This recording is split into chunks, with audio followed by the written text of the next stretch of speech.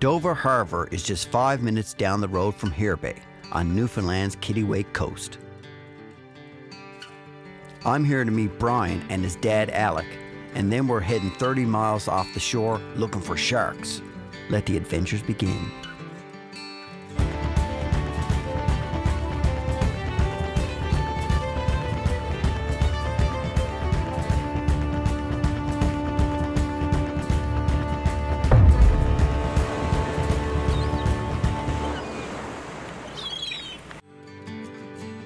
Brian, right? Yes, sir. Welcome to the Shark Company. Step Yeah. aboard, man. Donny. Hello, Danny. Welcome aboard, buddy. Thanks, man. So this is the boat. This is the boat. All Well, right. We're going in, yep. Uh, big old fog bank there. Was that? Uh, yeah, it should burn up when the sun comes Right out. on. Mary. So still going. Oh, yes, absolutely. Everything go. Yeah. And all go. winds are a bit high, but is that okay? Yeah, she's, you? go- she's going to be a little bit windy, a little bit rough, but we, we should uh, we should be able to make it work.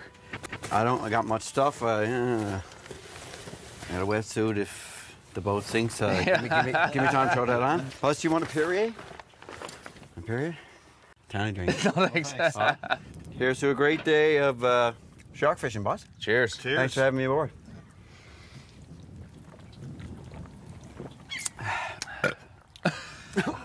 what do you think? Refreshing. Let's start her up and go. Yeah, we got to uh, we got to pack the boat up here now first before we get on to go. All right, what do you want me to do? Start passing me in some gear if you like. Yeah. You just want to jump out there? Hey everyone, I hope you're enjoying the episode. And remember to like and subscribe and hit that bell button so you'll be notified when we upload new content. Enjoy the show. We get the rods first, Danny, if you don't mind. I get those kind of out of the way here. Get down there, put down there. What's that? That's the tag kit, which is very important. Cool. And this is uh, This is the two buckets of beautifully, beautiful smelling chum. all right, boss. Well, uh, have a good day. Yeah, see if I.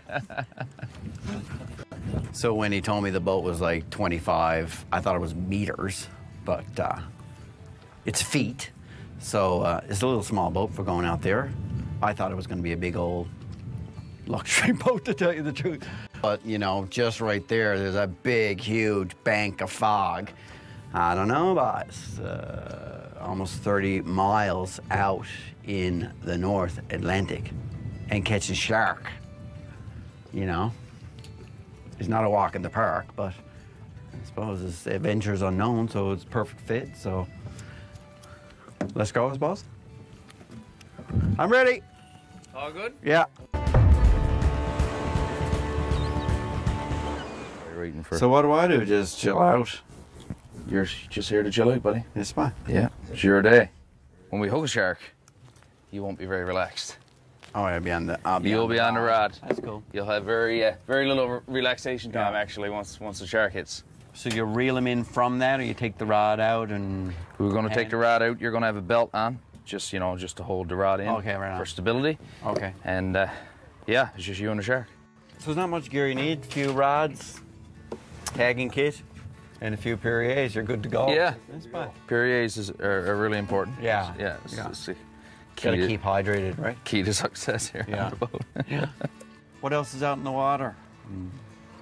Squid, lots of Squid, cod. codfish, capelin still, tuna. Yeah. We got a lot of tuna this year. And how are the cod? Are the cod? Uh, There's a lot of codfish this year, a, a lot of codfish. I've got a nephew that's a commercial fisherman, and I was just talking to them a little while ago there, and uh, they uh, they caught uh, uh, this morning. They caught around 2,000 pounds in in a couple of nets, just two nets, which is uh, pretty well er, unheard of when when when I fish. So uh, and everybody's in the same boat. They're all getting the same catches. So yes, there is a lot of cod around Yeah. our area this year. Yes. Shark time, Danny. Perfect. Can I go up in the bow? You can. I'm a little nervous, but uh, maybe it's excitement. Nothing to be worried about, man. You're in a you're in a great uh, you're in a great boat. These boats are extremely seaworthy, uh, and you're in good uh, hands. Yeah, I don't even know you really. From Facebook, it's a funny thing. You could be uh, setting me up here to, you know. It could be used for jump. but- Yeah, there's no uh, And I've been out bricks with chains on it now. you know.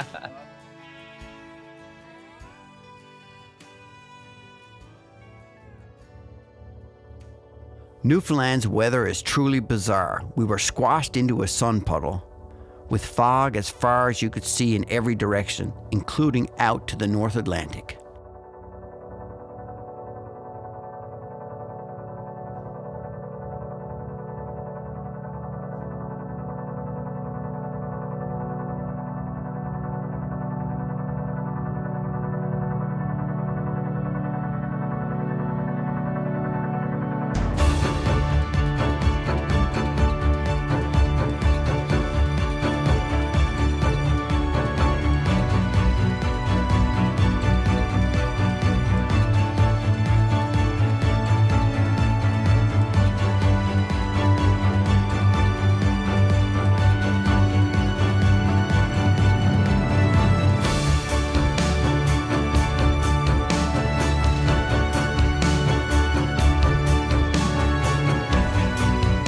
Our first stop is Bragg's Island, a resettled community where Alec grew up and Brian spent his summers fishing with his dad, a beautiful ghost of Newfoundland's past.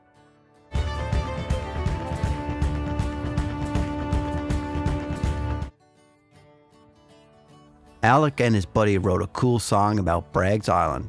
We're stopping here so they can play it for me. We're here on Bragg's Island, 10 miles out in the middle of the North Atlantic, where Brian's family is from. And uh, yeah, we just stopped here, and then uh, we're going to go another 10 miles out and go shark hunting. Actually, shark fishing. Shark fishing, yep. Tagging sharks for research, which is a really nice thing Yep. to do. Catch and release and research. A glistening harvest for a fisherman's soul. Where the white gannet dies and the king-eyed soars. I sail with delight past high rugged shores and frolic o'er waves that roll endlessly by. To white tilted stones where my ancestors lie.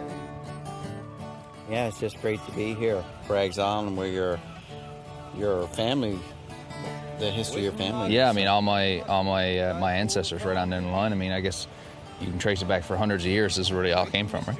yeah. And uh, they, as you can see, they always return there to fish, right? So how many pounds is this? The cod.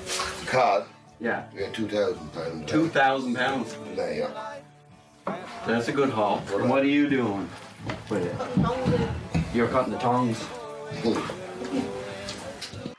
Even as kids, we would uh, our parents would take us out of out of school, you know, a little bit early in June. We'd come here, and we wouldn't go back anymore until September. So we fished here our whole uh, our our whole summers and stuff. So this is where we grew up as kids, basically.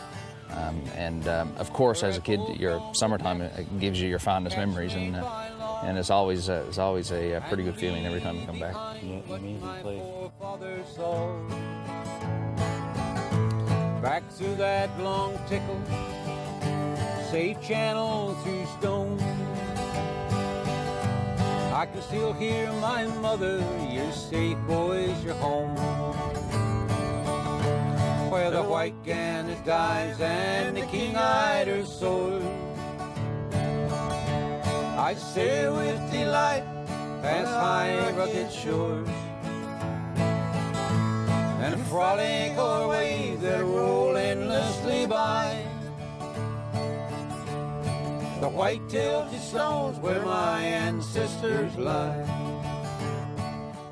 Sorry to uh, interrupt the party here, but uh, it's time to do some shark fishing. I think They're Jumping early. they're jumping. Yeah, we got. it's that time of day. Let's get on the go. Thanks. See you later, man. We'll see you at your party tonight.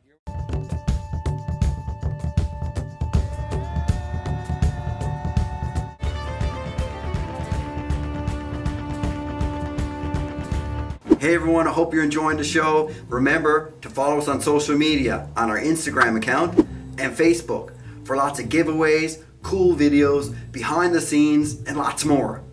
Back to the show.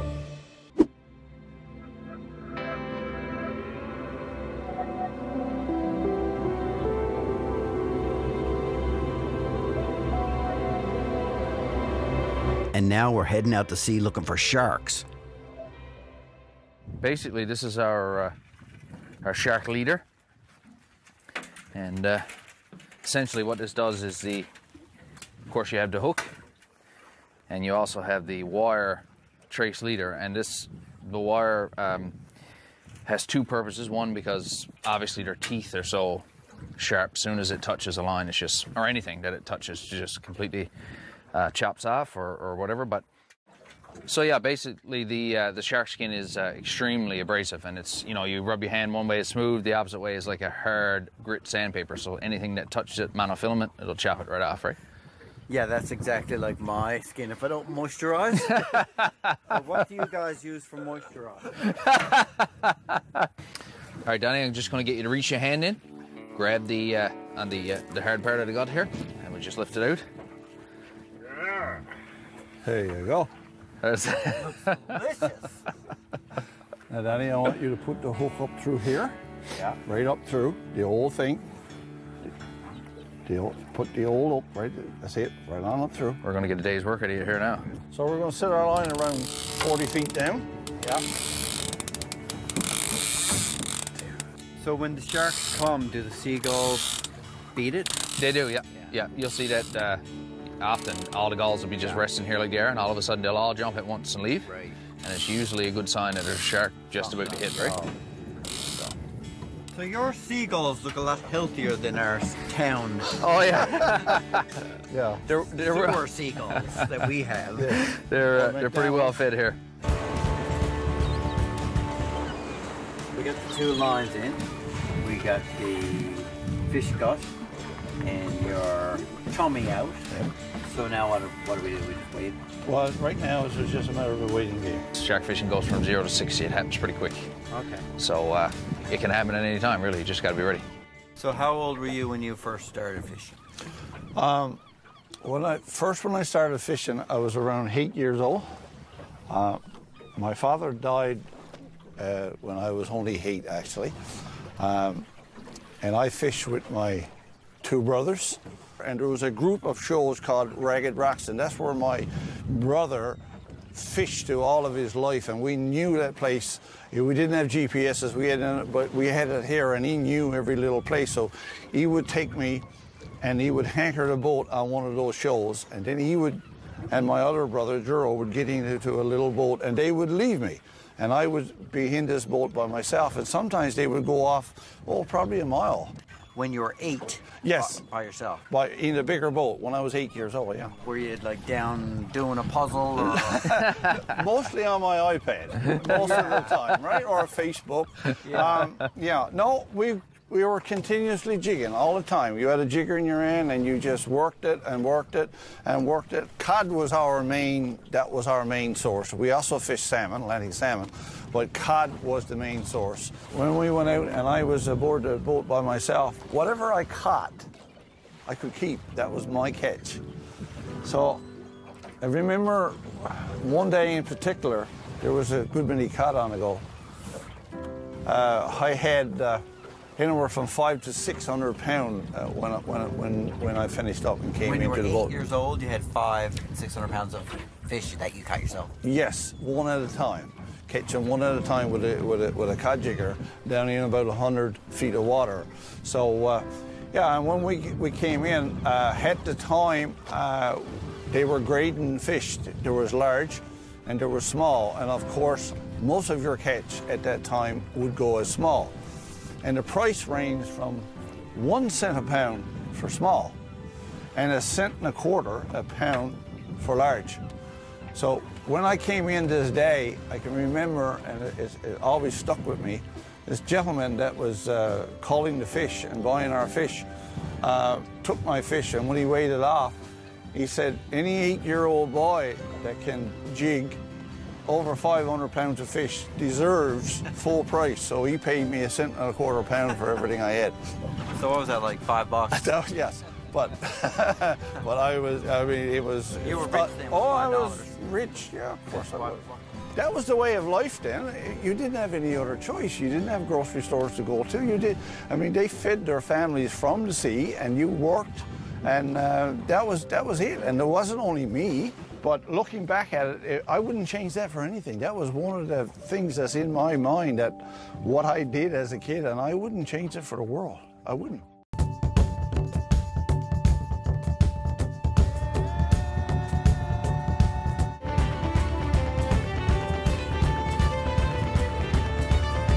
So we've been out here for an hour or so waiting for the sharks and listening to all the seagulls try to eat our uh, chummy. Shark. Right here, look. That's a blue, I believe. I don't, I don't want him on this one, if I can possibly get away from it. Here he is, here he is, look. Okay, oh, you got, you got, shark on. Here goes. I'm gonna get... Shark on.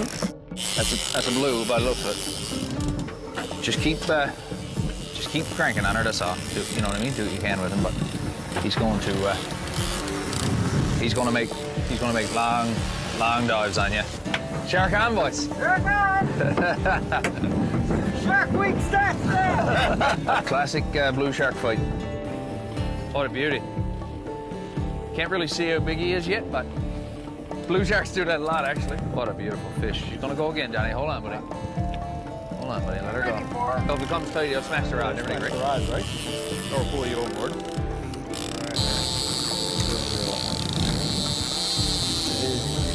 He's a good shark.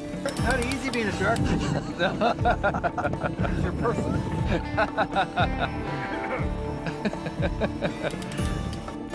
She's gonna make another barrel yet, right? So you just hold your ground, because when he's ready to barrel again, he's barrel.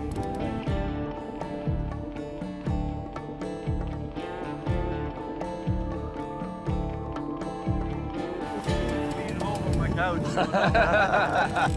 couch.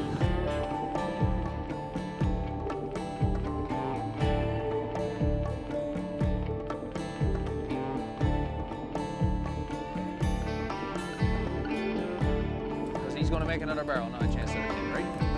You just, you just stand, stand your, here we go, here we go, here we go. Just let him go, Johnny. Just let him go, Johnny. Let him go. Let him go.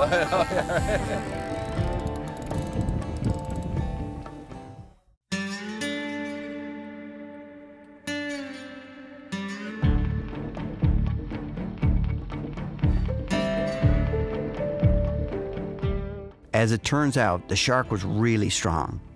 He was a majestic creature who fought like a gladiator and freed himself. There were no losers today. I saw him and he saw me, a fitting end to an amazing day on the water. He gets to go back to his shark family, and I get to go back to Bragg's Island with the boys.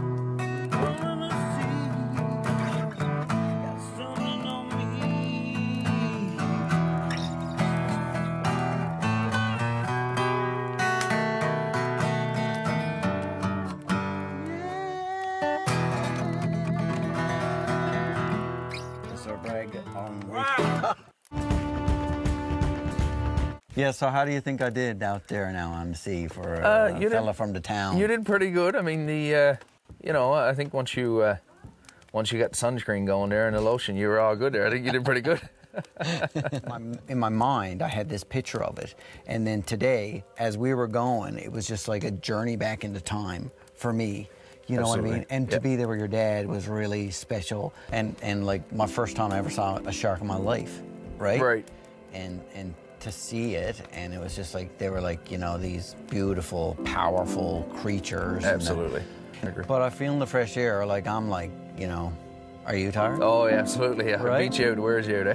Yeah, all that Yeah. fresh air, Yeah. and all- you know. Yeah. Yeah. There's no smog out there, is there? No, no, it's pretty clean, yeah.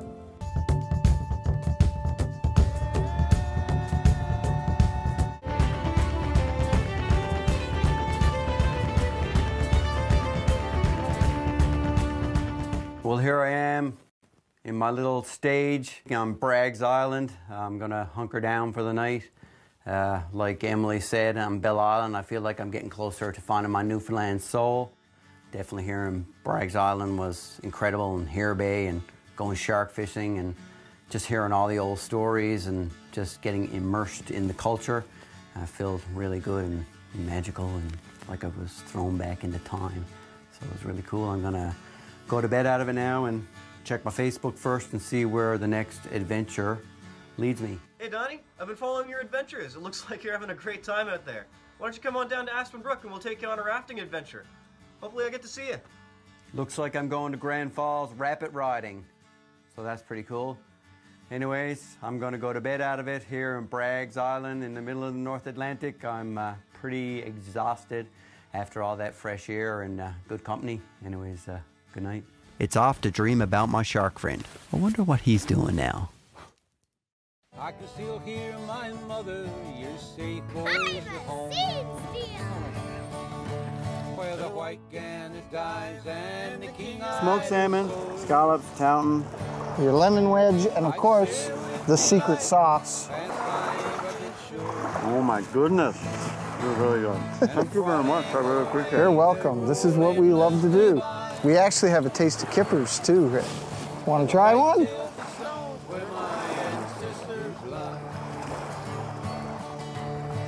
A little strong.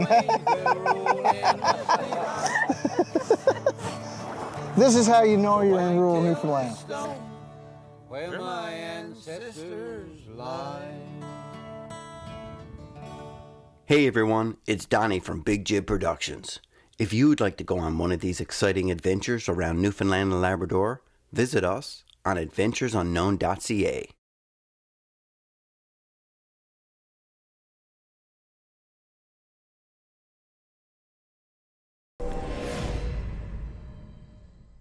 Hey everyone, thanks for watching the show. And remember to like and subscribe. And hit this video here for the next adventure. We'll see you there.